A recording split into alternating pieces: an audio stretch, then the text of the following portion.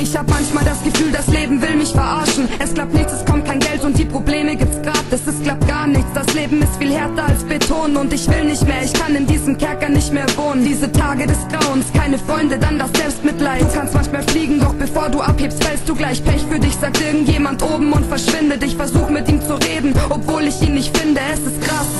Meine Mutter hat viel Kummer, unsere Mütter gibt So viel Stress mit manchen Leuten und die meisten waren Freunde. Und jetzt laufen sie an dir vorbei, als würden sie's bereuen. Diese Zeit, in der man vielleicht auch das Essen geteilt hat, sich wie 300 Mann gefühlt, obwohl man zu zweit war. Leider sind genau die Tage Kopfgeficke und zu hart. Ab ins Bett und Licht aus, vielleicht schlaf ich bis zum nächsten Tag. Nur ein Atemzug von Glück, ich will endlich wieder glücklich sein.